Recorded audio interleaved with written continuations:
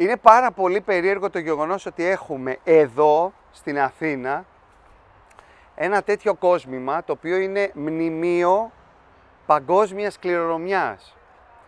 Είναι ένας θησαυρός, αλλά δεν το γνωρίζει ο κόσμος. Δεν το γνωρίζουμε και ας το έχουμε και τόσο πολύ κοντά μας.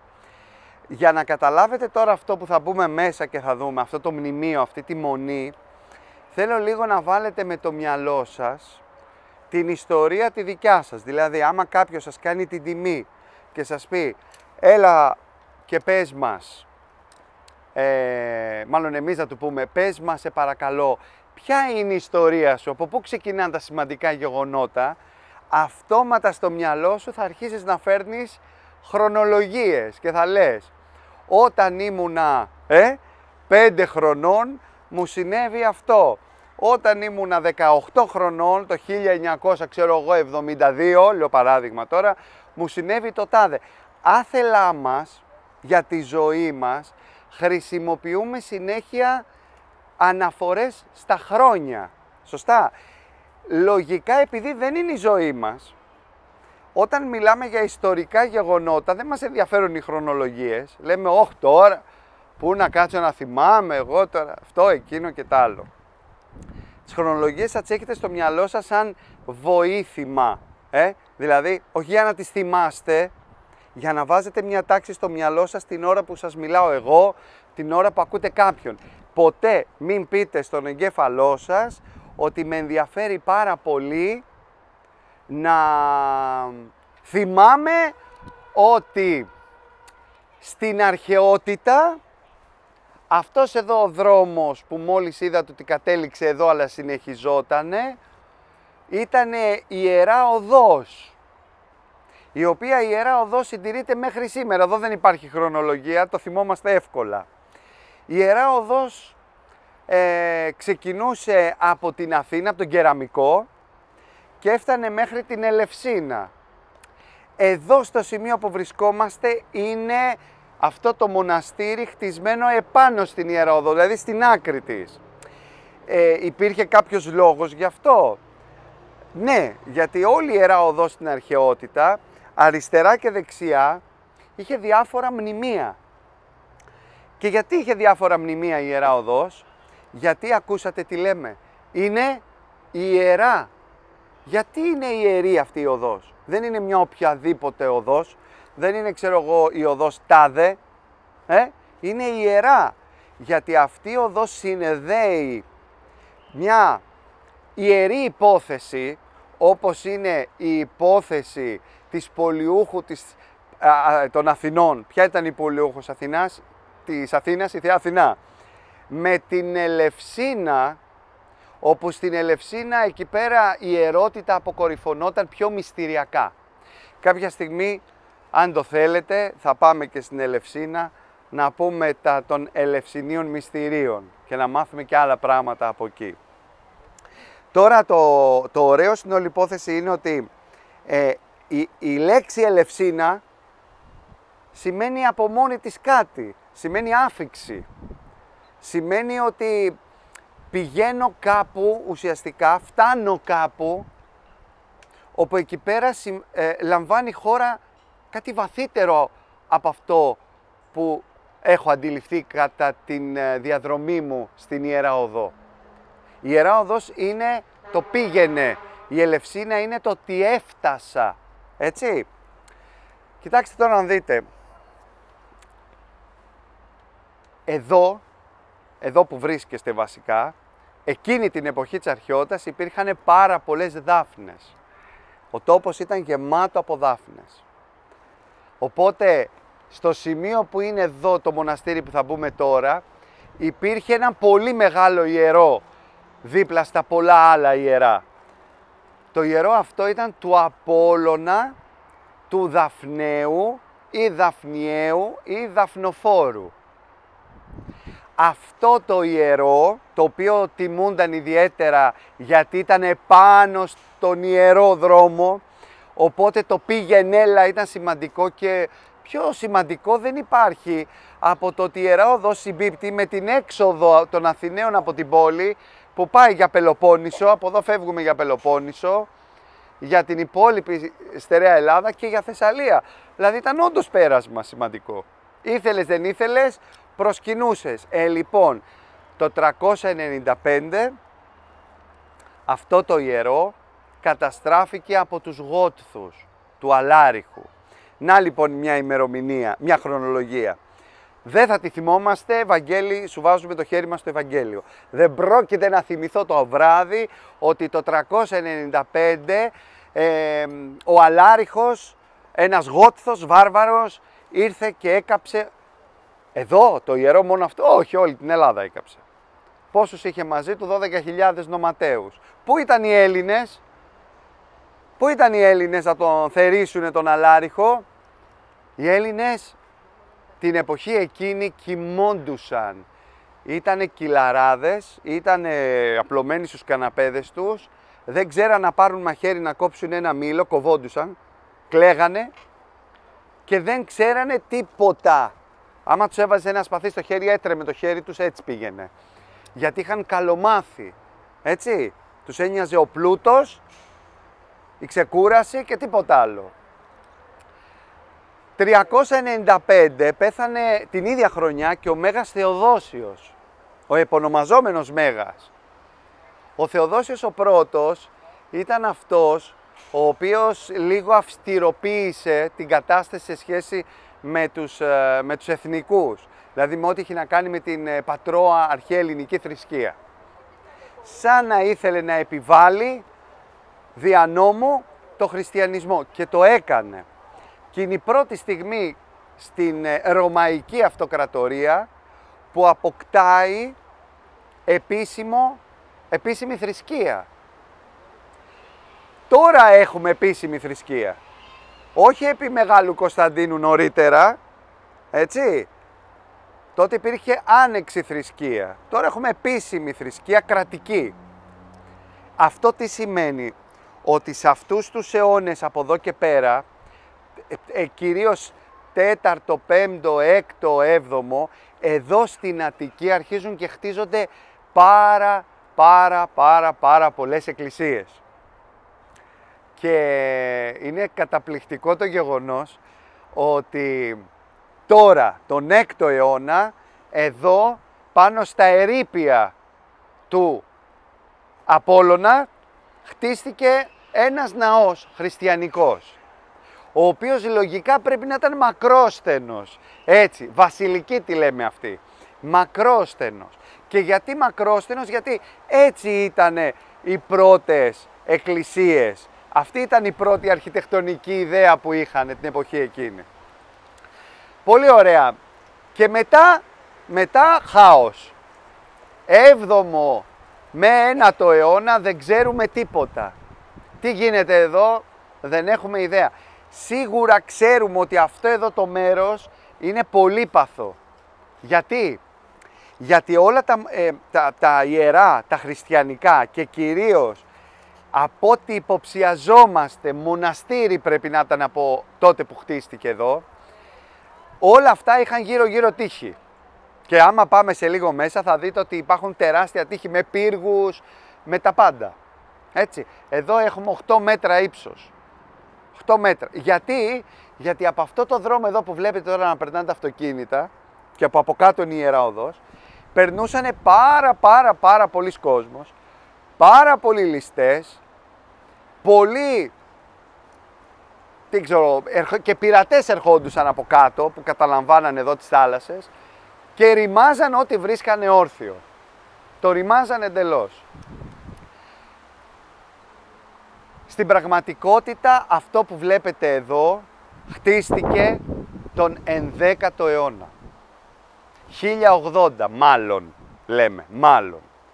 Και τι έγινε η πρώτη εκκλησία που μας είπες; Η πρώτη εκκλησία για τους λόγους που σας προανέφερα, ότι δηλαδή εδώ πέρα γινόταν ο πανικός, όποιος ήθελε το και όποιος ήθελε το κλεβε και λογικά οι μοναχοί την κοπανούσανε και φεύγανε και πηγαίναν αλλού για αλλού για να σωθούνε λογικά το μοναστήρι εκείνο το πρώτο εγκαταλείφθηκε.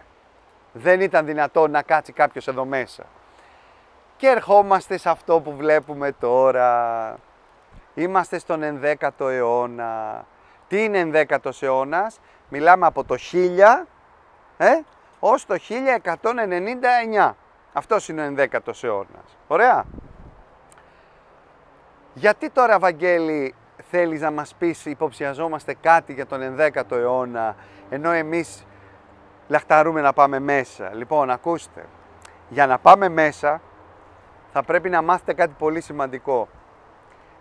Όταν χτιζόταν αυτό που θα δείτε εδώ μέσα, στην πραγματικότητα ήταν η εποχή που άρχισε να διαμορφώνεται και δείχνω έναν προς έναν εσάς, ο νεότερος ελληνισμός.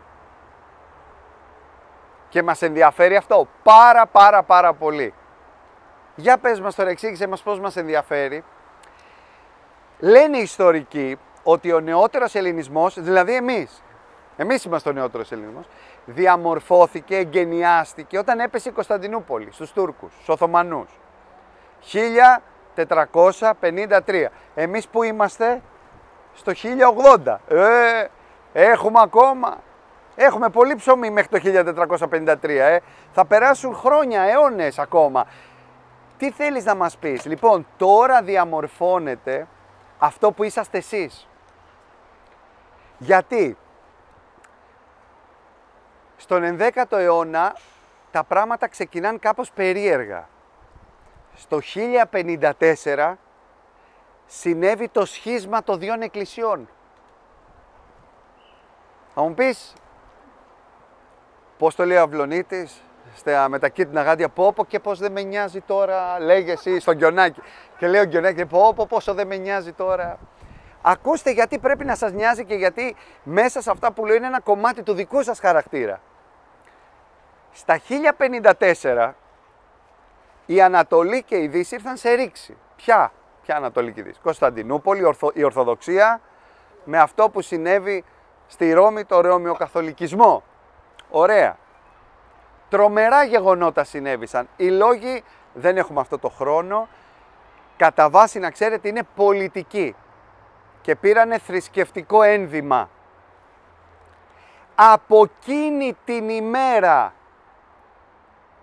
Ιούλιος ήτανε του 1054, στην Κωνσταντινούπολη, μέσα στην Αγία Σοφιά, που πήγε ο Ουμβέρτος, ένας καρδινάλιος, και πέταξε πάνω στην Αγία Τράπεζα το ανάθεμα του Πάπα για τον Έλληνα Πατριάρχη και έτρεξε ο Διάκος κατά τη διάρκεια της λειτουργίας, ε, και έτρεξε ο διάκονος, πήρε το ανάθεμα, πήγε έξω και του το πέταξε στα πόδια, για σκεφτείτε λίγο τη δραματικότητα της στιγμής. Από εκείνη την ημέρα, εμείς, στην Ανατολή και κυρίως οι Έλληνες, δεν τα έχουμε καλά με τους Δυτικούς. Είμαστε επιφυλακτικοί. Κρατάμε επιφυλάξεις. Τους θεωρούμε ενδυνάμει εχθρούς. Τους φοβόμαστε. Γιατί, γιατί στο πολιτισμικό, να το πούμε έτσι, DNA, περνάει μέσα από τον καθένα η αίσθηση ότι κάποτε αυτοί πρόδωσαν ό,τι πιο ιερό υπάρχει. Τι είναι αυτό; Το κοινό που είχαμε, Ανατολή και Δύση, την Ορθοδοξία. Και γιατί την πετάξατε την Ορθοδοξία, τι σημαίνει Ορθοδοξία, ορθή πίστη. Γιατί την πετάξατε την Ορθοδοξία; Για λόγους εξουσίας. Για να λέει ο άλλος ότι εγώ είμαι ο πρώτος, εγώ είμαι ο αλάθητος, εμένα θα προσκυνάτε και όλα τα άλλα και τα πολλά άλλα θεολογικά. Η δεύτερη χρονολογία που είσαστε εσείς, όλοι, που διαμορφώ... Ανατέλει ο νεότερος ελληνισμός τότε, σιγά σιγά. 1071. Τι έγινε το 1071? Κάπου εκεί στα βάθη της Μικρασίας έγινε μία μάχη, η μάχη του Ματζικέρτ. Εκεί ο αυτοκράτορ Διογέννης, Ρωμανός ο τέταρτος ο Διογέννης, αυτός έχασε από μία καινούρια παρουσία στο χώρο κάποιους Σελτζούκους Τούρκους. Εκεί ο Αλ έτσι λεγόταν ο ηγέτης τους, τον νίκησε, τον αυτοκράτορ των Ρωμαίων και πρώτη φορά στην ιστορία της, Ρωμαϊ... της Ρωμαϊκότητας έχουμε έναν αυτοκράτορα να τον έχει βάλει κάποιο ένας ε, Μογγόλος, γιατί αυτοί οι Τούρκοι έχουν έρθει από τα, από τα βάθη της Ασίας. Ήταν μια φιλίππο Μογγόλων. Δηλαδή οι Μογγόλοι τους είχαν για δούλους αυτούς. Τον έβαλε κάτω και του πάτησε το κεφάλι. Για να δείξει την υποταγή. Ξεφτύλα. Βέβαια, ο Ρωμανός ο τέταρτος ο Διογέννης έκανε μια εκστρατεία για να σώσει την αυτοκρατορία του. Ο λόγος που έχασε ήταν ότι το παλάτι Μιχαήλ Ψελός, μεγάλα ονόματα και οι Δουκαίοι θέλανε να χάσει ο αυτοκράτορας να εξαφανιστεί για να πάρουν αυτή το θρόνο. Η μια οικογένεια, οι οικογενειοκρατικά θέματα. Και τι καταφέραμε με αυτά, δεν θα σας πω την ιστορία γιατί είναι για κλάματα έτσι. Και όταν λέω για κλάματα εννοώ για δάκρυ. Άμα διαβάσετε την ιστορία του Ρωμανού του τέταρτου του Διογέννη, θα κλαίτε. Θα κλαίτε. Τι κατάφεραν με αυτό, βάλαμε τους Τούρκους μέσα στη Μικρασία. Από τη φαγωμάρα μας, από τη διχόνια μας, από τον αλληλοσπαραγμό και από τα συμφέροντα τα μικροκομματικά, βάλαμε για πρώτη φορά στην ιστορία τους Τούρκους μέσα στη Μικρασία. Και πώς την ονομάσανε, πώς το ονομάσανε, ξέρετε; Οι Τούρκοι μπήκανε μέσα, πρώτη φορά, φτάσαν μέχρι πάνω. Νικομίδια, φτάσαν εκεί. Χαλιφάτο, το ξέρετε, τον Ρουμ. Τι σημαίνει χαλιφάτο των Ρουμ, των Ρωμιών. Ποιοι, ποιοι τα έχουν αυτά τα χώματα τόσοι αιώνες; Οι Ρωμαίοι. Όταν λέγανε Ρωμαίοι όμως εννοούσαν τους Ρωμιούς, τους Έλληνες. Έλληνες στο γένος, Ρωμαίοι στον τίτλο. Τι ωραία δεν διαμορφώνει αυτή η χρονολογία αυτό που ζούμε σήμερα. Εμείς φέραμε τους Τούρκους εδώ, στη γειτονιά μας. 1082, τρίτη χρονολογία. χρονολογία αυτή είναι που ο Κομνηνός, ο αυτοκράτορ, φέρνει στην αυτοκρατορία μέσα τους Βενετούς και όλους τους Ιταλούς να εμπορεύονται ελεύθερα. Αυτό τσάκισε την αυτοκρατορία. 1080 δεν σας είπα ότι χτίστηκε εδώ αυτό. 1082 σας είπα τώρα, ε. Και ήταν ο Κομνηνός. Ρε μπας και το έφτιαξε ο Κομνηνός αυτό. Δεν το ξέρουμε. Δεν το ξέρουμε. Αλλά εδώ θα σταθώ. Ουρανία, βάλε αστερίσκο και πες μου. Κομνηνός. Πες μας και την τέταρτη χρονολογία έτσι για να ξεσπαθώσεις και να ερεμήσεις και να σου αποδείξουμε μετά, άμα μας ρωτήσουμε δεν θα το κάνω, ότι δεν θυμόμαστε τίποτα. Λοιπόν, η τέταρτη χρονολογία είναι 1096.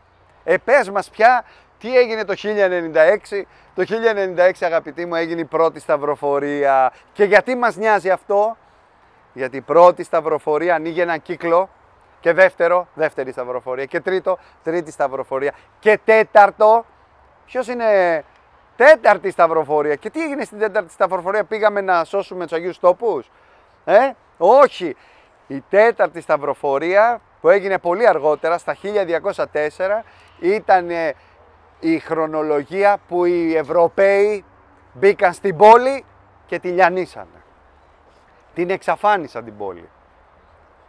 Έτσι λοιπόν αυτά αποδεικνύουν η τέταρτη, η αρχή αυτού του κύκλου και η τέταρτη σταυροφορία, πόσο μισούμε άθελά μας ή θελημένα ή όπως θέλετε πάρτε τα δικαιολογημένα δικαιολόγητα, τους δυτικούς. Μας προδίδουν οι δυτικοί και το λέμε πάντα. Όλοι μας κι ας είμαστε ανοιχτόμοι, αλλημορφωμένοι, ταξιδεμένοι, πάντα μέσα μας όταν μιλάει ο Γερμανός, πάντα μέσα μας όταν λέει κάτι ο Άγγλος, πάντα μέσα μας όταν μιλάει, ξέρω εγώ, ο Ιταλός ή ο Τάδε, ο Βέλγος, είμαστε επιφυλακτικοί. Το εννοεί, είναι καλή συγκυρία. Είναι το συμφέρον του λες. Δεν με αγαπάει. Το συμφέρον του είναι. Και πάντα ο Έλληνας νιώθει ότι περικυκλώνεται. Αυτά άρχισαν να συμβαίνουν από τον 11ο αιώνα. Αυτό το feeling που έχουμε μέσα μας όλοι συμβαίνει από τότε. Τότε χτίζεται λοιπόν αυτό εδώ το περίφημο αριστούργημα. Και είναι μια χρονιά που λέμε είναι το 1080. Δεν το ξέρουμε. Δεν έχουμε καμία επιγραφή. Οι αρχαιολόγοι λένε ότι κάπου εκεί πρέπει να είναι. Πολύ ωραία. Μήπως χτίστηκε στο 1018. Τι έγινε το 1018, τώρα θα σηκωθείτε όλοι χέρια, κύριε, κύριε, κύριε, ξέρουμε όλοι τι έγινε το 1018. Κανένας δεν ξέρει. Το 1018 έτυχε να περάσει από εδώ ο Βασίλειος ο δεύτερος ο Βουλγαροκτόνος. Τι είχε καταφέρει ο Βασίλειος ο δεύτερος ο Βουλγαροκτόνος.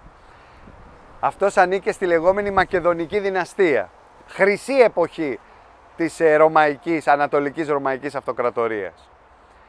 Λοιπόν, αυτός ήταν η ώρα που είχε τυφλώσει χιλιάδες χιλιάδων Βουλγάρους και τους έστειλε τυφλούς όλους πίσω στο Σαμουήλ, τον βασιλιά τους, ο οποίος με το που είδε χιλιάδες τυφλούς στρατιώτες ε, έπαθε έμφραγμα και πέθανε την άλλη μέρα. Δεν το άντεξε. Γι' αυτό και το λέμε βουλγαροκτόνο. Γιατί κατανίκησε τους Βουλγάρους. Αυτός για να γιορτάσει την νίκη του ήρθε εδώ στην Αθήνα, 1018. Έρχεται λοιπόν εδώ και τι κάνει, πάει στην Παναγιά την Αθηνιώτισσα. Ξέρετε κανείς ποια ήταν η Παναγιά Αθηνιώτισσα στην Αθήνα, πες το. Ο Παρθενώνας, τον οποίον τον σεβάστηκαν και το μετατρέψανε σε, άλλη, σε, σε μιας άλλης Παρθένου, αϊπάρθενου ναό. Σωστά, πολύ ωραία. Εκεί λοιπόν ο Βασίλειος θα μπόθηκε. Λάτρεψε την Αθήνα. Την ήξεραν όλοι, αλλά δεν ήταν Κωνσταντινούπολη. Η Κωνσταντινούπολη ήταν το κέντρο του κόσμου πλέον, όχι η Αθήνα. Η Αθήνα ήταν ένα χωριό, αλλά είχε τα μνημεία της. Και μάλλον πρέπει να είχε πολλά μνημεία. Και μάλλον πρέπει να είχε πάρα πάρα πολλά αγάλματα.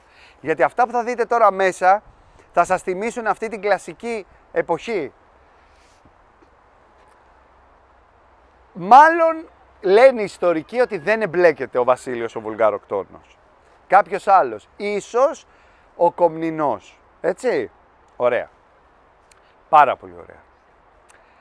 Και τώρα, Βαγγέλη, εξήγησέ μας, πρωτού μπούμε γιατί τώρα θα σηκωθούμε και θα πάμε μέσα, εξήγησέ μας για ποιο λόγο άξιζε τον κόπο να έρθουμε εμείς εδώ. Άξιζε τον κόπο να έρθουμε να κάτσουμε έξω και να μας πεις όλα αυτά, εκ των οποίων θα μας μείνει μια αίσθηση. Αίσθηση θα μας μείνει, δεν θα μας μείνει μια γνώση, μια αίσθηση. Όχι. Εδώ ήρθατε για να δείτε ένα αριστούργημα το οποίο ήταν πολύ παθό. Πέρασε πάρα πάρα πάρα πολλές κακουχίες αυτό που θα δείτε. Αλλά θα δείτε και ένα αριστούργημα το οποίο είναι εισάξιο με ό,τι θα πάτε να δείτε στην Κωνσταντινούπολη. Την, τον ίδιο αιώνα χτίζεται ο Άγιος Λουκάς στη Βιωτία. Λοιπόν, ο Άγιος Λουκάς είναι στο πρώτο μισό του 11ου αιώνα, αυτό είναι στο τελευταίο μισό του 11ου αιώνα, δηλαδή τη δεύτερη πεντηκονταετία, και στα μέσα του 11ου αιώνα χτίζεται και η νέα μονή της Χίου. Το μοναστήρι που έχει σχέση με τον αρχαίο κλασικό κόσμο είναι αυτό εδώ.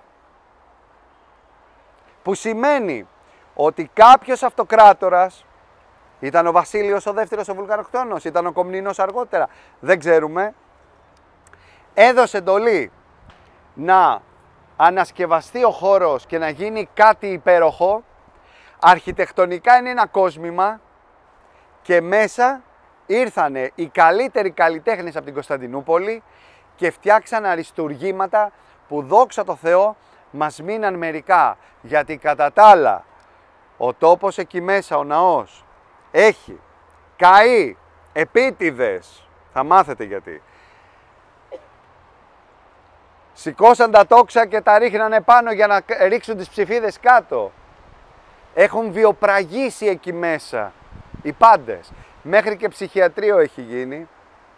Μέχρι και στάβλοι έχουν γίνει. Έχουν περάσει οι πάντες και τα πάντα από εδώ. Και είναι ο μόνος λόγος που θεωρώ ότι ας είναι τουλάχιστον αυτό το μνημείο μουσείο και όχι λειτουργικός χώρος. Αν και ο χριστιανισμός από ό,τι έμαθα δεν έχει πεθάνει. Έτσι δεν είναι η αρχαία ελληνική θρησκεία. Είναι ζωντανό, οπότε δεν πρέπει να έχουμε μουσεία. Λοιπόν, θέλετε να σηκωθείτε; Άντε, πάμε μέσα.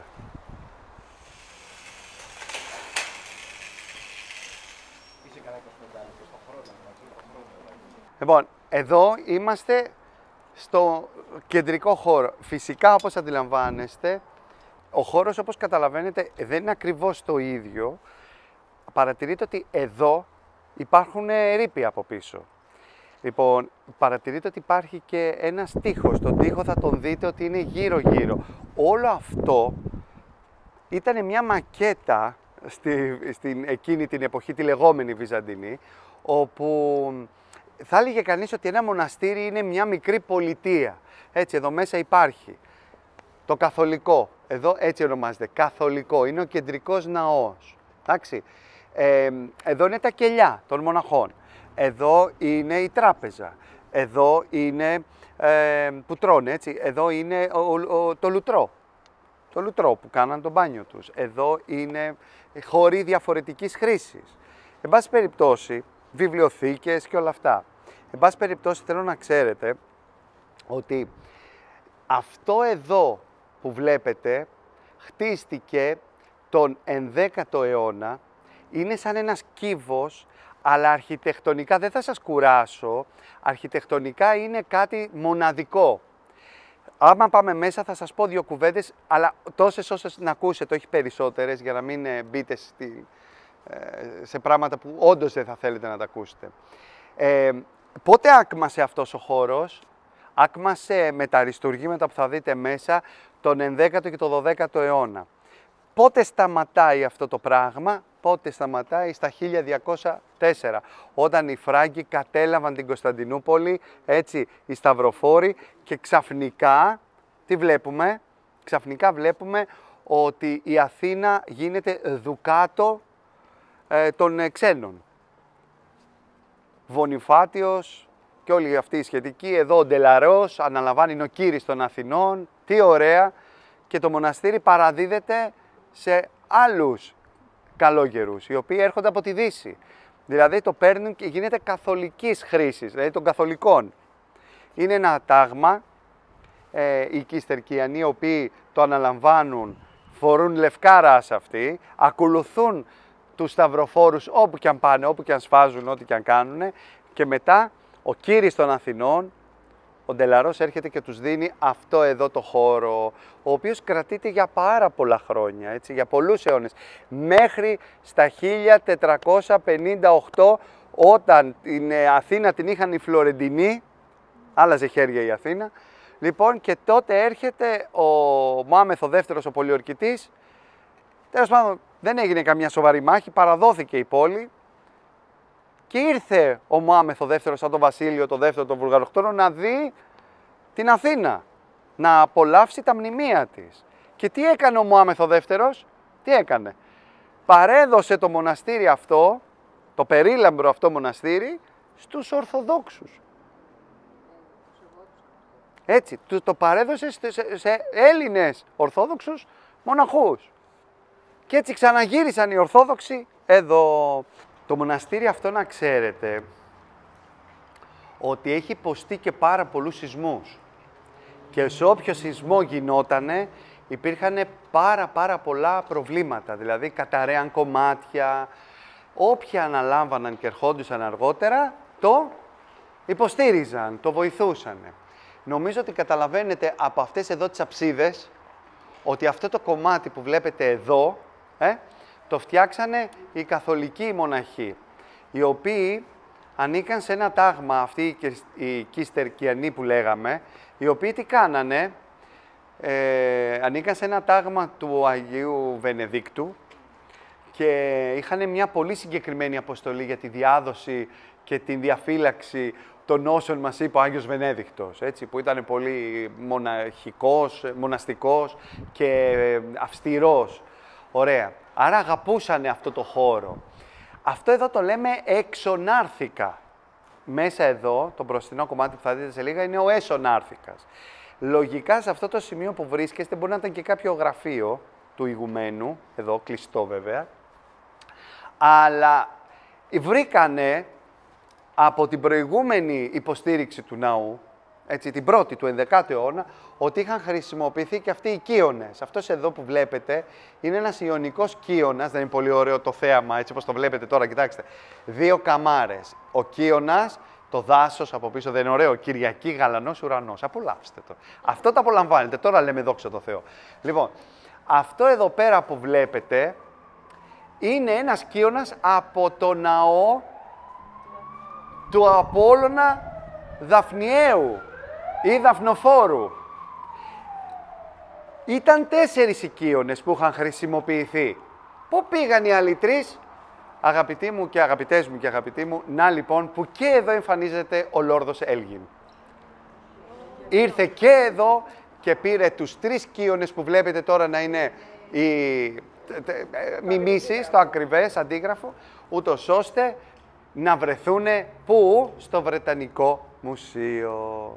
Άρα επενεύει και εδώ ο Έλγιν, κατασπάραξε ό,τι μπορούσε, άφησε για καλή μας τύχη αυτό εδώ, στο οποίο παρατηρείται όλη τη λογική ε, που, ε, τη, τη, της Καμάρας, την Κωνσταντινοπολίτικη ας πούμε αντίληψη της ναοδομίας, μια αντίληψη την οποία τη βλέπουμε και σε σπίτια, και σε σπίτια στην Κωνσταντινούπολη. Και, δηλαδή αυτό που θα δείτε σαν αρχιτεκτονική εδώ μέσα, όχι την αοδομική απόλυτα, όχι την αοδομική απόλυτα, αλλά με έναν τρόπο μια αντίληψη που υπήρχε και σε αρχοντικά, έτσι, με τις κόγχες, θα το δείτε. Πολύ ωραία. Άρα εδώ μπήκε και ο Έλγιν, μάλιστα. Και μετά τι έγινε; Ωραία.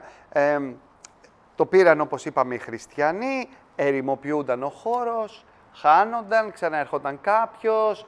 Ο Χαν Κρίστιαν Άντερσεν πέρασε από εδώ, ειδικά για αυτό το μέρος και έγραψε καταπληκτικά πράγματα για τη Μόνη Δαφνίου. Το ξέρετε το Hans Christian Andersen, το ξέρετε; Λοιπόν, εδώ μας λέει ότι μπήκε εδώ και ήταν όλο αυτό καλυμμένο με τσουκνίδες και δεν μπορούσε να περπατήσει. Ερημωμένο. Τέλεια. Δεν υπήρχε ψυχή μόνο έξω Εκεί που ήμασταν τώρα, υπήρχε ένας που είχε χτίσει ένα, μια ξύλινη παράγκα και κέρναγε καφέ. Αυτό. Και έλεγε τι μνημείο είναι αυτό και το έχουν παρατήσει. Αυτό το μνημείο είχε την τύχη να είναι δίπλα σε αυτό το δρόμο όλους αυτούς τους αιώνες. Γιατί και τότε περνούσαν ληστές, κλέφτες. Πολύ ωραία.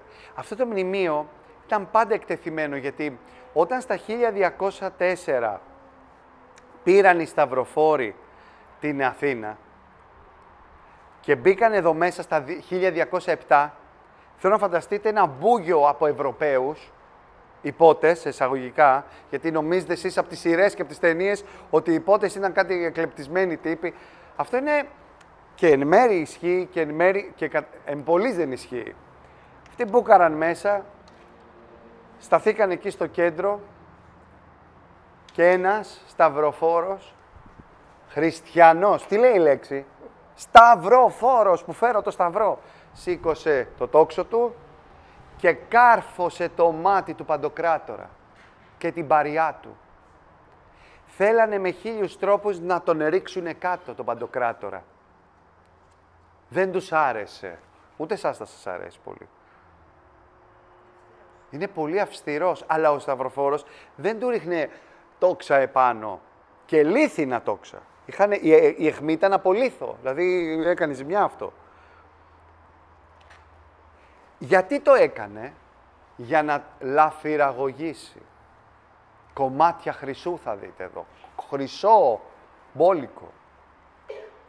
Και όταν ε, κατά τη διάρκεια της Επανάστασης, τη χρονιά του 1821, αυτό το μοναστήρι έπαιξε πολύ σημαντικό ρόλο, οι Τούρκοι άρχισαν να το πολιορκούν. Αν γυρίσετε πίσω σας θα δείτε τα τείχη. Έτσι.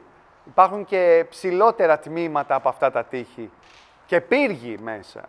Πολύ ωραία. Τότε, εδώ μέσα, υπήρχε ένας μοναχός ονόματι Παΐσιος. Ο Παΐσιος αποφάσισε να τους προδώσει όλους. Και έχει τρία πηγάδια, το είδατε ένα εδώ; Και ήταν και άλλα δύο έξω όταν μπαίναμε.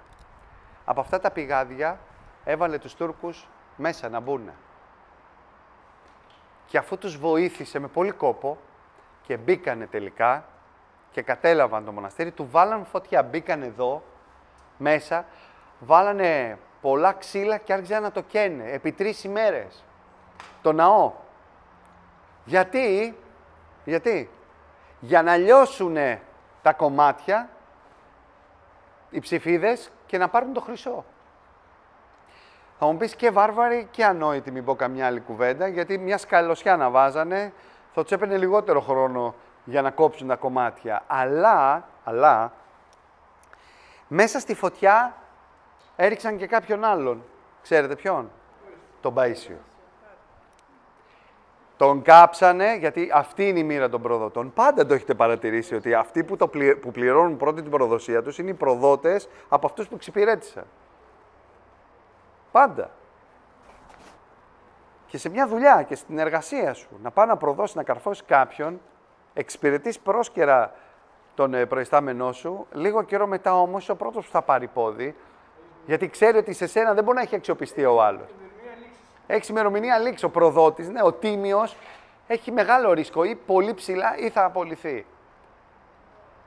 Λοιπόν, ε, πήρανε τα, τα, ό,τι έμεινε από τα οστά του, όλα αυτά οι Τούρκοι και τα πέταξαν εκεί. Και τα αφήσαν εκεί και ήταν εκεί για πάρα πολλά χρόνια. Πάρα πολλά χρόνια. Και τα βλέπαν όλοι και τον δείχνανε. Οπότε, από ένα σημείο και έπειτα, θέλω να ξέρετε ότι αυτό το μοναστήρι πλέον περνάει σε πολλές περιπέτειες. Μία περιπέτεια είναι ότι έρχονται οι Βαβαροί και οι Βαβαροί το κάνουν όλο αυτό το πράγμα έτσι, ένα στρατόπεδο. Στάβλη και τέτοια. Έτσι, πολύ ωραία. Μετά έρχονται οι... το ελληνικό κράτος και το κάνει για δύο χρόνια 1893-1895, αν θυμάμαι καλά, το κάνει φρενοκομείο. Όλα αυτά, δεν είναι τυχαίο που το Δαφνί είναι απέναντι το φρενοκομείο, λοιπόν, δεν είναι τυχαίο που όλα αυτά κάνουν αυτό το μοναστήρι να πέφτει, να χάνει την αξία του. Και βέβαια ξεκινάει από το εξωτερικό η απέτηση. Τι θα γίνει μέσα στους Έλληνες; Πότε θα ξυπνήσετε, έχετε εκεί ένα θησαυρό. Γράφουν εδώ σχόλια, γράφουν άρθρα, γράφουν βιβλία. Πόσο σημαντικό είναι και εσείς το κάνετε. Το ένα, το άλλο ψυχιατρίο, ντροπή. Και κάπως ξεσηκώνεται το κράτος μας και λέει ναι πρέπει αυτό να το κάνουμε ό,τι ήταν το 11ο αιώνα. Ένα μνημείο. Θα δούμε τι απέμεινε από αυτό το μνημείο μετά από τόση κούραση, ε; μετά από τόσο ποδοπάτημα, φωτιές, βέλη, κακουχίες. Πάμε να το δούμε. Εδώ βρισκόμαστε στο καθολικό, δηλαδή στο ναό που εξυπηρετεί τις ανάγκες της ε, μονής. Να ξέρετε ότι ένα μοναστήρι έχει πολλούς ναΐσκους. Και αυτός είναι ο κεντρικός ναός, γι' αυτό το λέμε καθολικό. Δηλαδή καθολικό για όλους, με αυτή την έννοια. Όταν πάτε σε ένα μοναστήρι και ακούτε που λένε αυτό είναι το καθολικό της μονής, μην νομίζετε ότι εκεί πάνε οι καθολικοί είναι το μέρος όλων. Γιατί, γιατί για παράδειγμα και αυτή εδώ η Μονή Δαφνίου είχε λίγο πιο έξω και υπάρχει νομίζω ακόμα ένα εκκλησάκι τον Άγιο Νικόλο, που μάλλον ήταν και το κημητήριο της εποχής εκείνης. Τι σημαίνει Νάρθικας. Ο Νάρθικας είναι κάτι το οποίο εξυπηρετούσε την πρώτη εκκλησία, τους πρώτους αιώνες. Γενικά θα μπαίνετε μέσα σε εκκλησίες και θα βλέπετε ένα τέτοιο χώρο που είναι σαν να λέμε ο χώρος που προηγείται του Κυρίως Ναού. Ο Κυρίως Ναός είναι πίσω από αυτές τις τρεις πύλες. Νάρθηκα βλέπουμε σε πάρα πάρα πολλούς ναούς και αυτού του αιώνα, μα είναι ενδέκατος. Εσύ μας λες ότι ο Νάρθηκας χρησιμοποιούνταν στους πρώτους αιώνες. Τι έγινε, ακούστε να δείτε. Γιατί χρησιμοποιούνταν στους πρώτους αιώνες ο Νάρθηκας, διότι τότε, στους πρώτους αιώνες, οι χριστιανοί δεν βαφτίζονταν μικροί, νήπια, αλλά οι χριστιανοί βαφτίζονταν ενήλικες, κυρίως σε μια ηλικία, ας πούμε, άνω των 30. Ωραία. Και τι, τι συνέβαινε με αυτούς τους ανθρώπους; Αυτοί, λοιπόν, ήταν κατηχούμενοι, δηλαδή σπούδαζαν επάνω στο τι είναι η πίστη τους, τι είναι ο χριστιανισμός. Δεν είχαν βαφτιστεί ακόμα. Έτσι λοιπόν, στην μεγάλη υπόθεση αυτής της τραγωδίας του δράματος που λέγεται Θεία Λειτουργία, οι κατηχούμενοι μπορούσαν να την παρακολουθήσουν μέχρι ενός σημείου. Από ένα σημείο και μετά, εκεί γύρω στο πιστεύω, τα στήρας, τα στήρας, τα στήρας, τα στήρας. Να κλείνουμε τις πόρτες. Η κατηχούμενη προέλθετε. Το λέει μέσα στη Θεία Λειτουργία. Τι σημαίνει έξω. Τώρα είναι για τους μοιημένους η λειτουργία αυτή. Είναι για όσοι είναι βαπτισμένοι. Και έτσι λοιπόν, μέχρι το πιστεύω η Θεία Λειτουργία έχει διδακτικό χαρακτήρα, γιατί διδάσκει τους πάντες, διδάσκει και τους κατηχούμενους, γιατί τι είναι η Θεία Λειτουργία, είναι ένα συγκλονιστικό ποίημα, έτσι, το οποίο ακολουθεί τα μοτίβα της ποίησης των αρχαίων τραγωδιών και μέσα σε αυτή την ποίηση βλέπουμε να εξελίσσεται, ό,τι έχει πει ο Αριστοτέλης στον ορισμό της τραγωδίας, να εξελίσσεται το πάθος του Θεανθρώπου. Όταν πηγαίνουμε και βλέπουμε μια τραγωδία του Ισχύλου, του Ευρυπίδη, αυτό που ουσιαστικά βιώνουμε είναι την ταύτιση με τον ήρωα. Αυτό ακριβώς συμβαίνει και εδώ, μόνο που αυτό που λαμβάνει η χώρα στο ναό, θυμηθείτε το που σας λέω, δεν είναι σαν το αρχαίο θέατρο. Δηλαδή στο αρχαίο θέατρο είχαμε την ορχήστρα που παίζαν ηθοποιοί και ο λαός από πάνω τι έκανε, έβλεπε. Εδώ στη Θεία Λειτουργία συμμετέχει και ο λαός. Γι' αυτό και το λέμε Θεία Λειτουργία. Τι σημαίνει η λέξη λειτουργία, είναι σύνθετη. Λίτος και έργων. Λίτος, στα αρχαία ελληνικά, λαός. Έργων, το έργο του λαού. Και η ποίηση μέσα, το βιβλίο της Θείας Λειτουργίας, λέει ιερέας, μπλα μπλα μπλα. Διάκονος, μπλα μπλα μπλα. Χορός, μπλα μπλα μπλα. Λαός, μπλα μπλα μπλα. Άρα δεν πάμε να παρακολουθήσουμε τη Θεία Λειτουργία. Δεν είναι θέατρο. Γιατί αν το βλέπεις σαν θέατρο, σαν παράσταση, καλά τα από ψάλτης, καλά τα από παπάς, βαριέσαι γιατί την ίδια παράσταση πόσο καιρό να τη δεις. Είναι έργο του λαού. Είμαστε συμμέτοχοι σε αυτό. Μετέχω στη Θεία Λειτουργία. Έτσι λοιπόν, όλο αυτό το δράμα κορυφώνεται στη θυσία. Στη Θεία Ευχαριστία. Αυτή η θυσία λαμβάνει χώρα μέσα. Θα δούμε πού. Στο Ιερό Βήμα.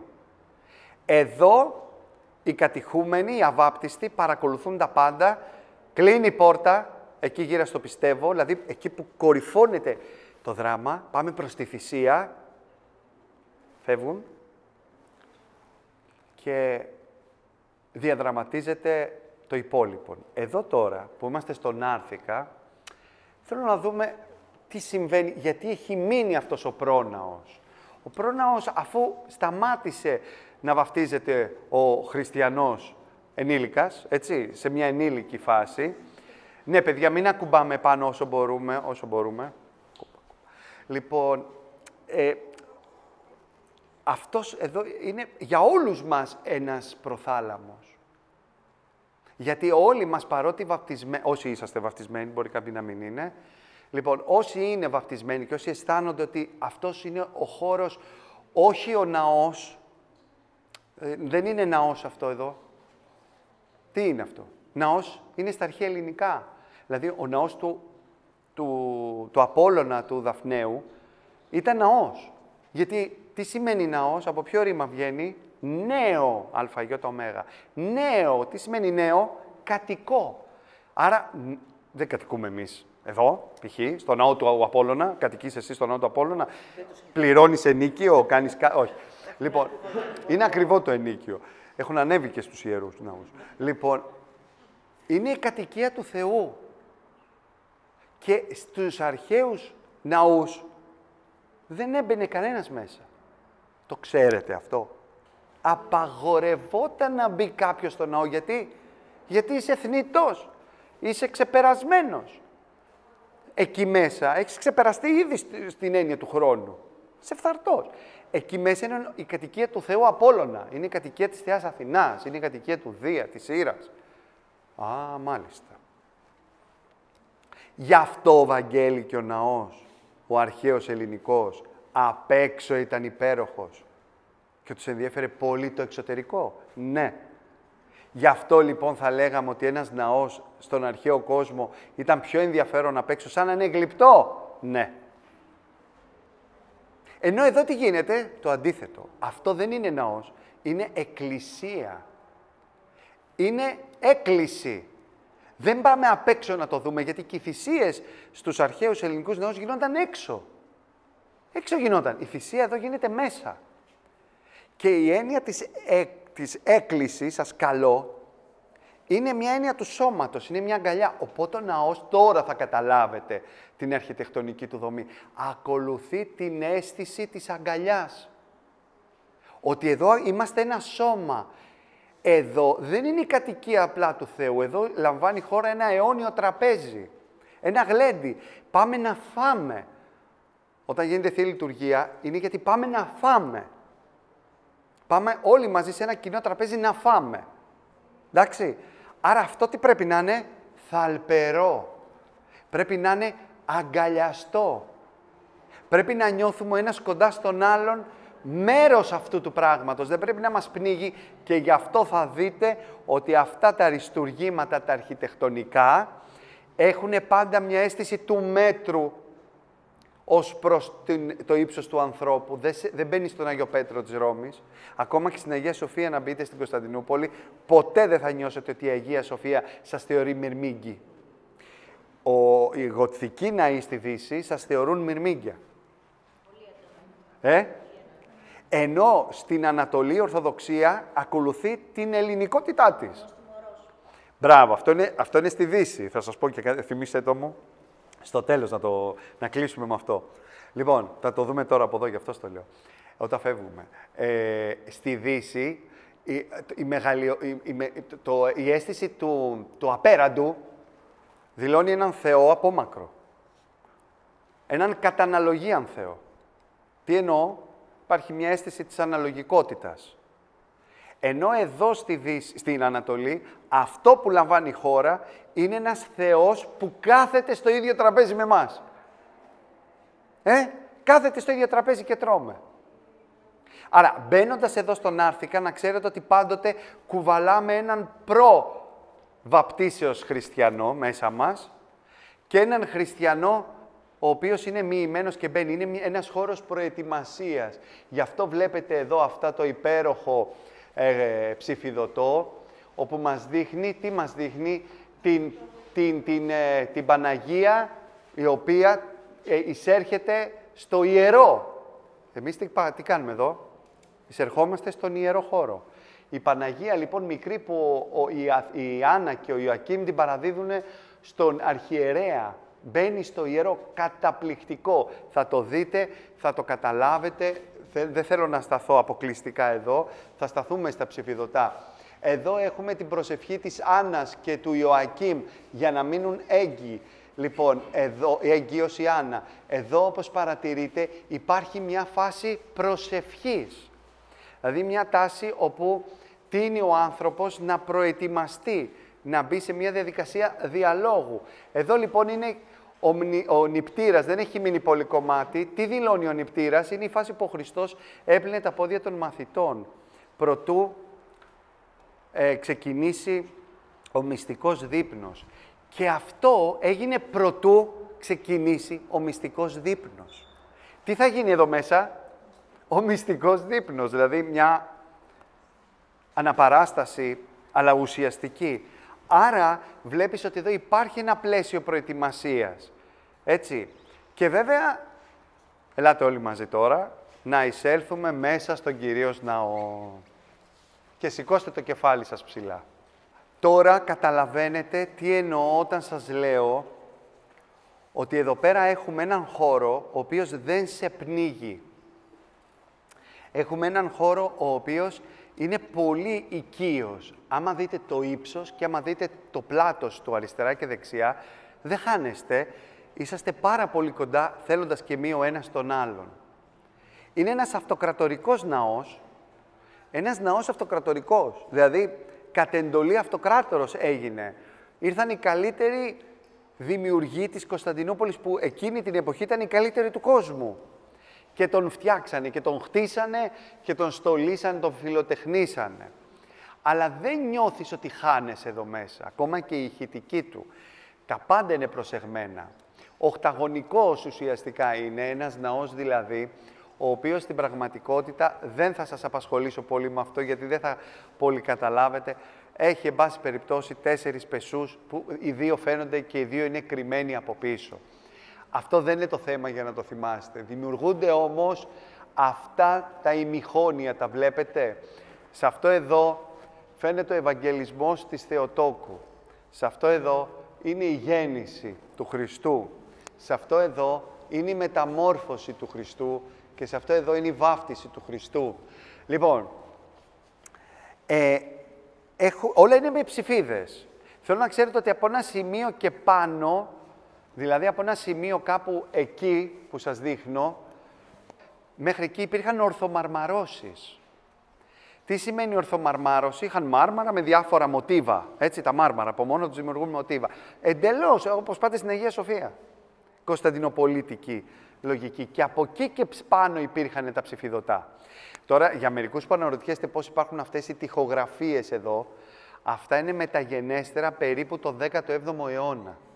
Όταν δηλαδή η Μονή παραχωρήθηκε από τους Οθωμανούς ξανά στους Ορθοδόξους. Γιατί από όλες τις λαιλασίες που είχαν γίνει εδώ, τι πήρανε, τα πρώτα που μπορούσαν να κατεβάσουν τα μάρμαρα. Τα πήραν τα μάρμαρα, κανονικότατα. Λοιπόν, αυτοί τώρα που ήρθανε από την Κωνσταντινούπολη έχουν μια πολύ πρόσφατη πανηγυρική εμπειρία. Ποια είναι αυτή η πανηγυρική εμπειρία; Αχ, Βαγγέλη, θα μας πεις και άλλη χρονολογία. Έλεος, έλεος, πώς θα τα θυμόμαστε όλα αυτά. Δεν θα θυμόσαστε τίποτα. Σας το είπα αυτά, μην τα θυμάστε. Και επειδή σας το είπα, θα τα θυμάστε έτσι από αντίδραση μέσα σας. Το ξέρω. Πεισματάριδες είσαστε όλοι σας. Θα θυμάστε. Δηλαδή, 8.43. Θα ήθελα να τη θυμάστε αυτή την ε, χρονολογία. Γιατί αυτή η χρονολογία είναι η χρονολογία που θριάμβευσαν οι εικονολάτρες. Θριάμβευσε η Ορθοδοξία. Τη γιορτάζουμε κάθε πρώτη Κυριακή της Αρακοστής, που είναι η Κυριακή της Ορθοδοξίας. Σε αυτήν λοιπόν τη χρονολογία, το... Ορίστε. Αυτό είναι άλλο, αυτό είναι από τους Τούρκους. Αυτό είναι από τους Τούρκους. Λοιπόν, και από άλλους πολλούς. Λοιπόν, το 843 νικάνει εικόνες. Δηλαδή, ποιος νικάει, ξέρετε ποιος, ε, λέμε νικάνει. Ένα, ένα αιώνα περίπου κράτησε αυτή η μάχη, η οικονομαχία στην αυτοκρατορία και ήταν πολύ άσχημο πράγμα αυτό. Νίκησε η ελληνικότητα. Νίκησε ο ελληνικός πολιτισμός. Οι εικονολάτρες εκφράζονταν μέσα από όλη την ελληνορωμαϊκή και ελληνική κατά κύριο λόγο παράδοση. Όταν λέμε ότι νικάει η Ορθοδοξία, σημαίνει ότι νικάει ο ελληνισμός. Με ό,τι παράδοση έχει. Γι' αυτό και εσείς Κλείστε τα αυτιά σας σε όσους λένε κουταμάρες, ψέματα, δόλια ψέματα, ότι δήθεν το λεγόμενο Βυζάντιο, που δεν υπάρχει Βυζάντιο, υπάρχει Ανατολική Ρωμαϊκή Αυτοκρατορία, έτσι. Λοιπόν, όλοι αυτοί δήθεν, λέει, κατέστρεψαν τον ελληνικό κόσμο, τη φιλοσοφία. Τι κουταμάρες, τι ανιστόρυτα είναι αυτά. Ανοίξτε ένα απλό βιβλίο. Δύο, τρία, δέκα. Διασώθη ο ελληνικός πολιτισμός, η ελληνική φιλοσοφία, μέσα από το λεγόμενο Βυζάντιο. Και διεσώθηκε και εδώ, είσαστε σε μια περίτρανη απόδειξη που θα δείτε αμέσως τώρα. Άρα λοιπόν, αυτός εδώ είναι ο χώρος που, πώς λέγεται αυτό, ξέρετε, κυρίως ναός. Και εδώ μέσα είναι το ιερό βήμα, μάλιστα. Λοιπόν, το ότι πατάμε τώρα εδώ μέσα, μερικοί μπορεί να μην αισθάνεστε άνετα, αλλά πλέον δεν είναι ιερός χώρος. Ε, είναι μουσείο. Οπότε, εδώ είναι το, η ωραία πύλη. Σε αυτό το σημείο εδώ έβγαινε, όπως ξέρετε, ο ιερέας και επικοινωνούσε με τον λαό και με το χορό. Χορός. Τι σας θυμίζει, αρχαία ελληνική τραγωδία. Ο, ο δεξιός λέμε και ο αριστερός. Χορός, οι ψάλτες. Πολύ ωραία. Εδώ υπήρχε η Αγία Τράπεζα. Σε αυτό το σημείο είναι ο βωμός. Εδώ τελείται η Θεία Λειτουργία, η θυσία. Αυτό εδώ είναι το κεντρικό σημείο. Αριστερά και δεξιά εσείς το ξέρετε σαν το ιερό. Θα πούμε δύο πράγματα γι' αυτά. Λοιπόν, εδώ δίπλα είναι η πρόθεση ή προσκομιδή, θα το πούμε, θα το δείξουμε πώς είναι. Λοιπόν, σε αυτό λοιπόν εδώ το Κυρίως Ναό αναπτύσσεται όλο αυτό το πανηγύρι της εικόνας μετά το 843, που είναι η νίκη των εικόνων από την Θεοδόρα, το ξέρετε αυτό, έτσι, η γυναίκα τα κατάφερε. Η γυναίκα ήταν αυτή η οποία έφερε ξανά πίσω όλο αυτό το, τη μαγεία. Λοιπόν, ναι, οι άντρες ήταν οικονομάχοι, παραδοσιακά να το ξέρετε αυτό, για έναν αιώνα οι άντρες ήταν πολύ οικονομάχοι και οι γυναίκες ήταν αυτές που συντήρησαν τις εικόνες. Τις έκρυβαν μέσα τους. Έτσι. Λοιπόν, πάμε τώρα να δούμε. Ο ναός είναι μία μακέτα του κόσμου. Εδώ πατάμε εμείς. Εδώ που πατάμε εμείς είναι η στρατεύουσα εκκλησία, έτσι τη λένε. Δηλαδή, αυτοί που, εμείς που είμαστε στρατιώτες και παλεύουμε κάθε μέρα να γίνουμε καλύτεροι άνθρωποι. Παλεύουμε κάθε μέρα με τον εαυτό μας. Παλεύουμε κάθε μέρα για να μην χώσουμε μπούφλα στο διπλανό μας. Μας εκνευρίζει. Παλεύουμε, παλεύουμε, παλεύουμε, είμαστε στρατιώτες, έτσι, πολύ αγώνας, πολύ ωραία. Λίγο πιο πάνω από εμάς είναι οι Άγιοι.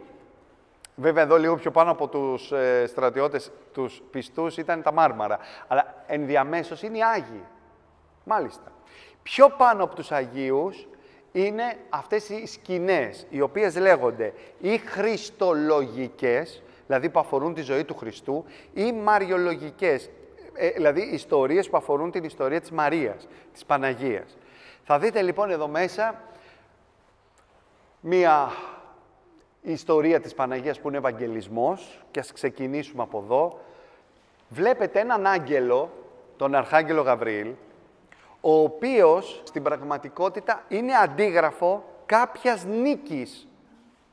Τι εννοώ με αυτό; Δηλαδή, εδώ ο καλλιτέχνης, έχοντας τεράστια γνώση πάνω στην κλασική ελληνική τέχνη ήδη από την Κωνσταντινούπολη, γιατί στην Κωνσταντινούπολη μας λένε οι δυτικοί τι καταστρέψανε στα 1204 και μιλάμε για αρχαία αριστουργήματα που ήταν στους δρόμους της Κωνσταντινούπολης και αυτοί τα πήραν και τα καταστρέψανε οι Φράγκοι. Όλοι. Όλα. Τα λιώνανε. Μιλάμε, έχουμε τη μεγαλύτερη πολιτιστική καταστροφή. Δεν είναι, λέει, η καταστροφή τελικά. Αυτό το λένε πολλοί, ο Ράνσιμαν, ας πούμε, πάρα πολλοί ιστορικοί και μελετητές. Δεν είναι η καταστροφή της Βιβλιοθήκης Αλεξάνδρειας. Το μεγαλύτερο έγκλημα κατά της ανθρωπότητας έγινε στα 1204.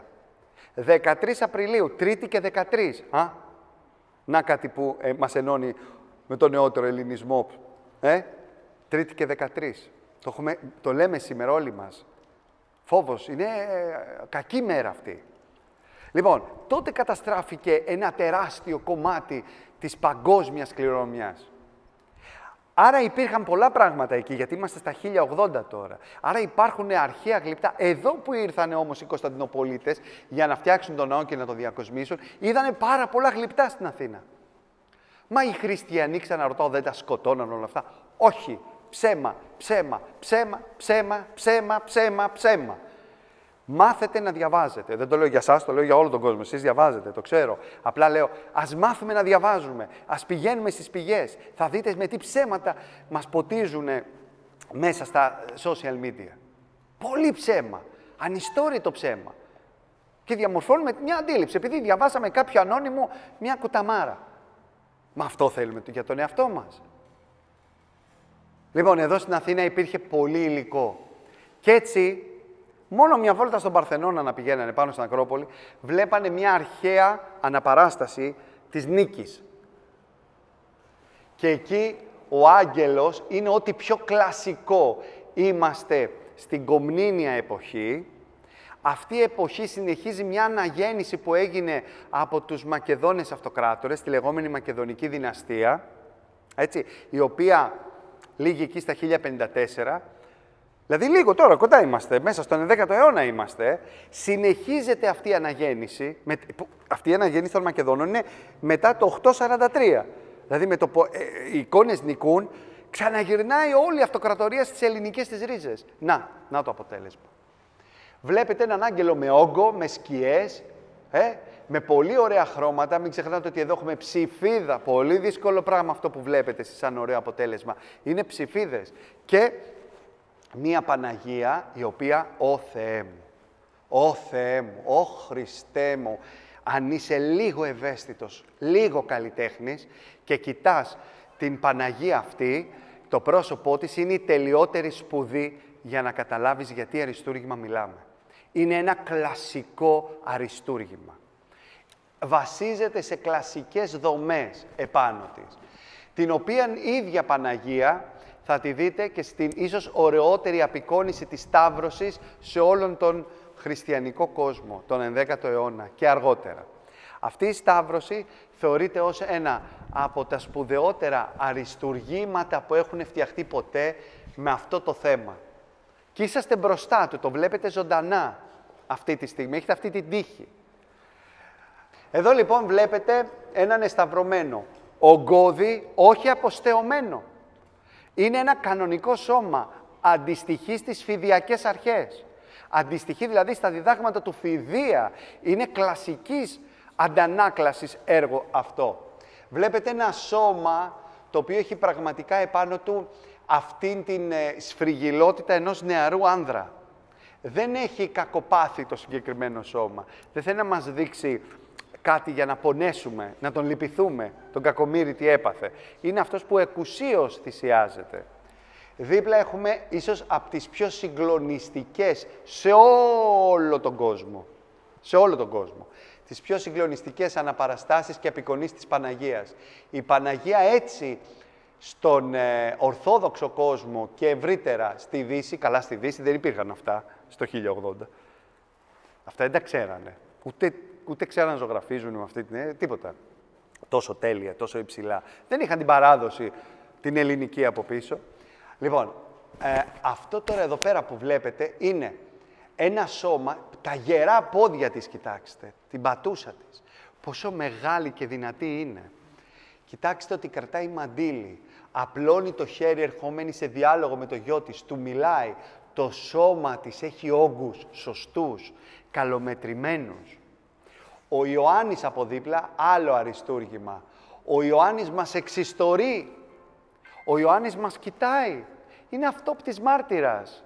Και αληθώς σας λέγει, αυτός που τα είδε, λέει στο Ευαγγέλιο του, ήταν παρόν. Γι' αυτό σας το λέω, για να πιστέψετε κι εσείς ότι έτσι γίναν. Μας το λέει στο Ευαγγέλιο του αυτό. Ήταν κάτω από το Σταυρό εκείνη τη στιγμή. Και κοιτάξτε τι κάνει.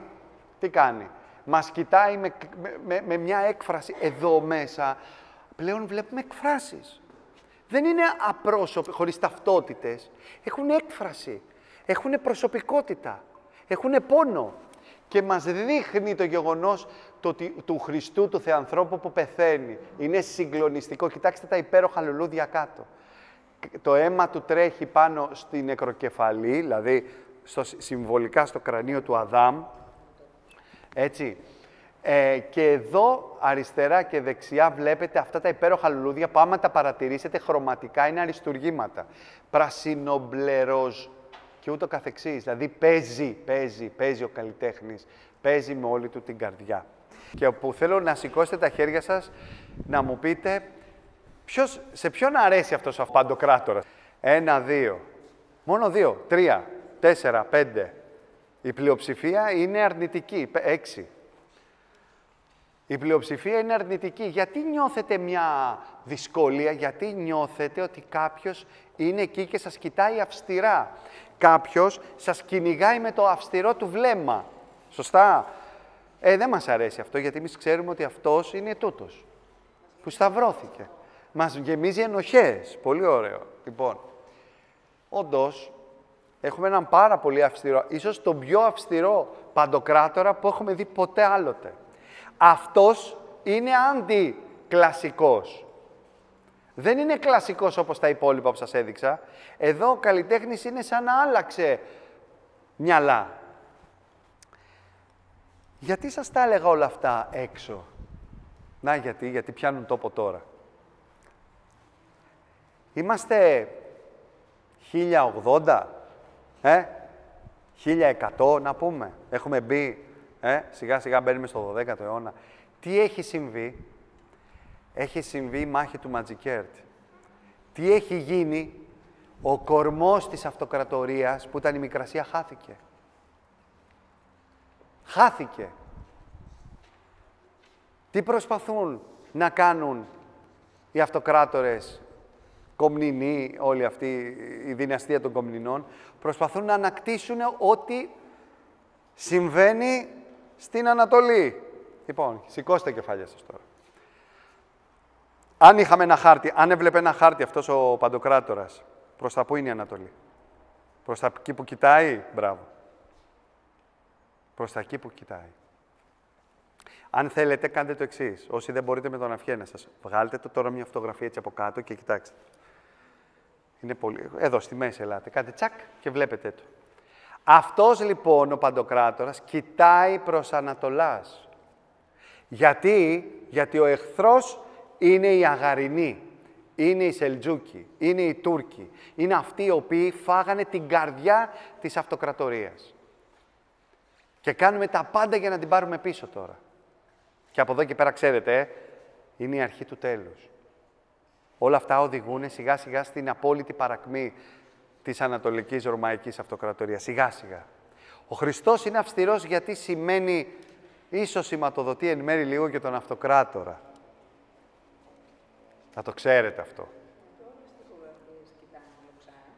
Καλά, αυτό έχει και μια άλλη λογική, θα σας την πω τη λογική, αλλά ο, αυτοκράτ, ο Παντοκράτορας, Παύλα Αυτοκράτορας, ίσως και να παίζει ένα τέτοιο χαρακτηριστικό ρόλο. Ε, βλέπετε ότι την δύναμή του την έχει και στα δάχτυλα. Κοιτάξτε πώς κρατάει το Ευαγγέλιο, ανοίγει τα δάχτυλά του. Αυτό δίνει μια ένταση στην κίνησή του. Πάρα πολύ ωραία. Λοιπόν, ε, αυτό όλο το αριστούργημα που βλέπετε εδώ μέσα, κάποια στιγμή έπρεπε να το ξαναφτιάξουμε ό,τι έχει απομείνει. Οπότε φωνάξαμε σαν ελληνικό κράτος το Φρανσίσκο Νόβι. Ένας ψηφοθέτης, ψηφιοθέτης, συγγνώμη, από την Ιταλία που ξέρει τη δουλειά του. Αυτός ανέβηκε στον Τρούλο, τέλος πάντων, ο Τρούλος ξαναχτίστηκε και τα ξανάβαλε στη θέση τους όλα. Και τα έβαλε κακήν κακός. Δηλαδή, έτσι όπως είναι οι προφήτες γύρω-γύρω από τον Παντοκράτορα, αυτός είναι ο ουράνιος κόσμος, έτσι, που πάμε σιγά-σιγά προς τα πάνω, οι προφήτες είναι σε διαφορετική θέση. Και θεωρείται ότι έκανε και μερικές παρεμβάσεις υφολογικές, οι οποίες, σε πάση περιπτώσει, μετά κατά κάποιο τρόπο διορθώθηκαν. Αν λοιπόν ο Παντοκράτορας, ο αυστηρός που εξυπηρετεί και ιστορικούς λόγους της εποχής εκείνης, βρίσκεται εκεί ψηλά, είναι γιατί αυτός εποπτεύει τα πάντα. Πάντο, τα πάντα κρατεί, παντοκράτορ. Εμείς είμαστε στην στρατευόμενη εκκλησία εδώ. Αυτή είναι στην, η Άγιοι από εκεί και πάνω, θριαμβεύουσα εκκλησία. Γιατί φύγανε, θριάμβευσαν και θριαμβεύουν ακόμα στη Βασιλεία του Θεού. Εκεί επάνω στην κόγχη πάνω από το ιερό είναι η Παναγία πάντα, η οποία κάθεται με τα χέρια έτσι και δέεται. Είναι αυτή που μεσολαβεί μεταξύ της εκκλησίας μας εδώ και της άνω εκκλησίας. Αυτή λοιπόν μεσολαβεί πάντοτε, άλλοτε ένθρονη, αλλά άλλοτε με τα χέρια απλωμένα προς τα επάνω. Δεν έχει σωθεί αριστερά και δεξιά πάντως από την ένθρονη Παναγία που βλέπουμε το κάτω μέρος, συγκλονιστικά τα μπλε εδώ μέσα. Ό,τι μπλε βλέπετε είναι συγκλονιστικό. Ε, αριστερά και δεξιά υπάρχει ο Μιχαήλ και ο Γαβριήλ. Εδώ. Και τέλος, θέλω να σας πω ότι μια απόδειξη ότι μιλάμε για, το, για, για Κωνσταντινοπολίτικη ε, δουλειά, είναι ότι άμα πας λίγο πίσω, θα μου πεις είναι 11ο αιώνας ρε αδερφέ, θα δεις Αγίους που τιμούνταν ιδιαίτερα την εποχή εκείνη. Δηλαδή, για παράδειγμα, αν δεν κάνω λάθος είναι εδώ, αυτός είναι ο Άγιος Βάκχος και άλλος είναι ο Σέργιος από εκεί. Ο Σέργιος και ο Βάκχος τιμούνταν απίστευτα στην Κωνσταντινούπολη. Απίστευτα. Οπότε το γεγονός ότι τους βλέπετε εδώ είναι καταπληκτικό. Ο Χριστός τώρα στη βάφτιση είναι γυμνός. Αυτή τη γυμνότητα που τη βλέπουμε μέσα από ένα σώμα πάρα πολύ κανονικό, έτσι, πολύ κανονικό, με μπουτια, με γάμπες, δεν έχει μια άρνηση στη σωματικότητα του Χριστού, γιατί θα δείτε σε πάρα πολλές τοιχογραφίες το Χριστό να ζωγραφίζεται γυμνό, αλλά με μια άρνηση να αποδώσουμε το σώμα του σωστά. Λες και ο Χριστός δεν ήταν γνήσιος άνθρωπος. Αυτά ενέχουν θεολογικών παρεξηγήσεων. Θέλουν πολύ προσοχή.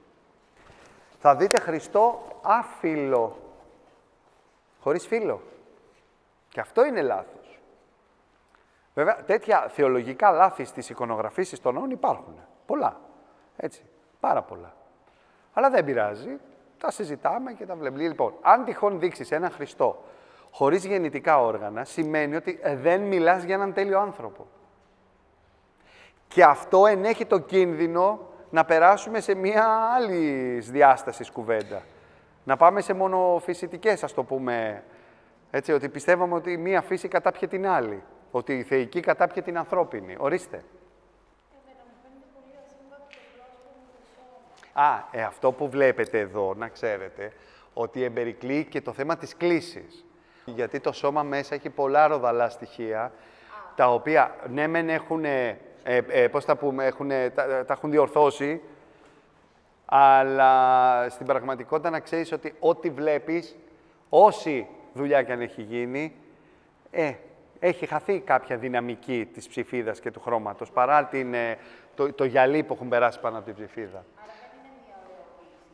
Όχι. Εδώ έχουμε ένα σώμα ωραίο, κανονικό, γνήσιο σε σχέση με άλλα σώματα που βλέπουμε. Κάτι το οποίο το βλέπεις και εδώ στην Ανάσταση, η οποία από κάτω ο, ο Άδης, όπως τον πατάει ο Χριστός, μας θυμίζει λίγο το θνίσκοντα γαλάτι, που είναι ελληνιστικής περίοδου, έτσι, και πολλά άλλα σχετικά έργα της εποχής εκείνης. Ε, καταπληκτικό το ότι ο χρυσός κάμπος από πίσω, το χρυσό φόντο, που δεν δείχνει τίποτα, συνδέεται τόσο υπέροχα με αυτό το χρυσό ρούχο του Χριστού. Δηλαδή, ε, βγάζει όγκο το χρυσό μέσα στο χρυσό. Είναι συγκλονιστικό αυτό το πράγμα. Και για να ολοκληρώσουμε εδώ, γιατί σας κούρασα, κοιτάξτε λίγο ό,τι έχει απομείνει από την κίνηση της Θεοτόκου. Θα έρθω λίγο εγώ από κάτω να με βλέπετε. Έχει μείνει το κεφάλι της, έχουν μείνει εδώ ο, ο Πέτρος αριστερά, κοιτάξτε τον όγκο του, πόσο ωραία σκουπίζει τα μάτια του, ε, τον όγκο στα ρούχα του, τις μαύρες γραμμές, τις ποιότητες. Όλο αυτό είναι δύσκολο βέβαια για να γίνει με ψηφίδες. Αλλά προσέξτε λίγο κάτι τώρα. Έχει πολύ μεγάλη σημασία. Λοιπόν, σε έναν ορθόδοξο ναό σαν κι αυτόν, όταν κάποιος φεύγει, είναι η ώρα και η στιγμή που παίρνει την τελευταία εικόνα μαζί του. Φεύγοντας βλέπουμε την κίνηση της Θεοτόκου. Τι λέμε, κίνηση της Θεοτόκου. Δεν λέμε ο θάνατος της Θεοτόκου. Γιατί λέμε κίνηση, γιατί, γιατί η κίνηση της Θεοτόκου σημαίνει ότι δεν πέθανε ουσιαστικά. Κοιμάται. Μας έμεινε και σε εμάς και λέμε κοιμήθηκε ο τάδε. Το κημητήριο, για όλους το λένε. Λέει, ο άλλος λέει, το κημητήριο, δεν λένε το νεκροταφείο.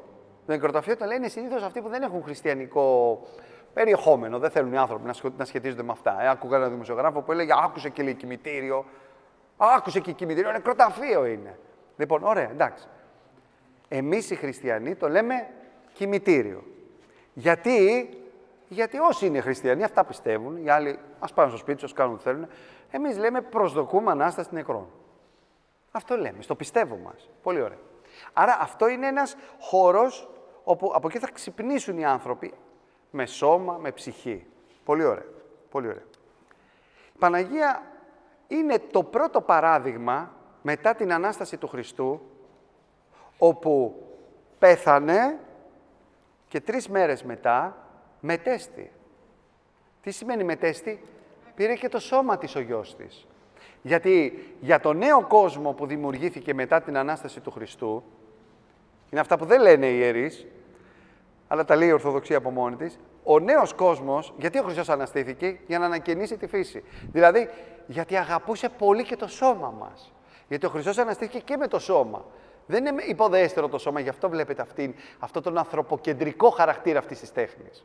Εδώ με το σώμα, επιμένω στα σώματα τόση ώρα. Ο Χριστός ανανεστήθη με το σώμα του και το πήρε πάνω. Υπάρχει μια Αγία Τριάδα, όπου υπάρχει και ένας άνθρωπος μέσα εκεί. Ο Πατήρ, ο Υιός, εν σώματος και το Άγιο Πνεύμα. Δηλαδή, ο άνθρωπος έχει δοξαστεί ήδη μες στη θεότητα. Άρα, εν κατακλείδη και η Παναγία, βλέπουμε ότι μετέχει αυτή, αυτού του νέου κόσμου, αυτής της νέας πραγματικότητας που δεν υπήρχε προ Χριστού. Δηλαδή, της πήρε και το σώμα μαζί. Και εμείς προσδοκώ Ανάσταση νεκρών. Και εν σώματι θα πάμε πάνω. Άρα τα σώματα μας δεν είναι για πέταμα. Είναι για δίαιτα, για γυμναστική. Πλάκα κάνω. Έτσι, άρα, άρα, όταν βγαίνουμε από εδώ, αυτό που βλέπουμε είναι τα καλά νέα. Είναι ότι τίποτα δεν πάει χαμένο. Ότι αυτά που ζήσαμε εδώ, που ακούσαμε εδώ, μας δημιουργούν την επιβεβαίωση της ελπίδας βγαίνοντας έξω ότι όντως υπάρχει Ανάσταση. Είμαστε άνθρωποι που μπορούμε να τη ζήσουμε. Πρέπει να πανηγυρίζουμε, πρέπει να χαιρόμαστε, πρέπει να είμαστε ευτυχισμένοι, πρέπει να έχουμε χαρά, πρέπει να λέμε γεια σου στον άλλον, χαίρετε να λέμε και να εννοούμε χαίρετε. Και να μην εννοούμε ε, να σε θάψω, μια, ναι, ναι, μπράβο, πίσω με μαχαιριές. Χαίρε να λέμε στον άλλον και να χαιρόμαστε. Στη Δύση, όταν βγαίνουν από ένα ναό, αυτό που βλέπουν συνήθως εδώ είναι τη Δευτέρα Παρουσία. Είναι έναν Θεό κριτή, κάτι τέτοιο, ο οποίος στέκεται εκεί, σηκώνει το δάχτυλό του και είναι σαν να λέει στον πιστό αν δεν κάνεις αυτά που σου λέει ο εκπρόσωπός μου, κάηκες. Να, εδώ είναι η φωτιά. Εδώ είναι το στόμα του Άδη. Βγάζει τρόμο, βγάζει φόβο, βγάζει απειλή. Δεν νιώθεις ότι βλέπεις. Καταρχάς, δεν είναι ο Χριστός που αποκαλύπτεται στον κόσμο στη Δευτέρα Παρουσία, μέσα στη δόξα Του, που θα, θα φύγουν δονήσεις, κύματα, ωκεάνια κύματα ενέργειας, ερωτισμού προς τον άνθρωπο. Δηλαδή ο άνθρωπος θα συγκλονιστεί από τον απίθανο ερωτισμό του Θεού για αυτόν. Θα νιώσει ότι κάποιος τον αγαπάει χωρίς λόγο. Ο Χίτλερ θα σηκωθεί και θα πει «Μα ποιος με αγαπάει παρά τα όσα έχω κάνει». Εκεί να τρελαίνεσαι, εκεί που ξεπερνάει δηλαδή το μυαλό σου αυτό. Και αυτός θα έρθει αγκαλιασμένος, ε, με σε σχήμα αγκαλιάς, σταυρικό, και όλοι θα κρυθούμε εκείνη τη στιγμή αυτόματα. Δεν θα μας κρίνει κανένας. Εκεί όμως φαίνεται ένας κριτής που καταδικάζει. Παράδεισος, κόλαση, γραφείο 37, γραφείο 41. Εσύ στο Μητρό, εσύ στο πρωτόκολλο. Φεύγει ο άνθρωπος με ένα βάρος. Εδώ δεν φεύγουμε με βάρος γιατί εδώ είναι Ανατολή, εδώ είναι χαρά, εδώ είναι πανηγύρι. Εδώ βγαίνεις έξω από την εκκλησία και στρώνεις ένα χορό. Κυκλικό κιόλας. Λοιπόν, Ομάδες είναι. Ομάδες ταυτόχρονα. Ομάδες ταυτόχρονα που ήρθανε και το δημιούργησαν. Σας ευχαριστώ πάρα πολύ. Να είστε καλά.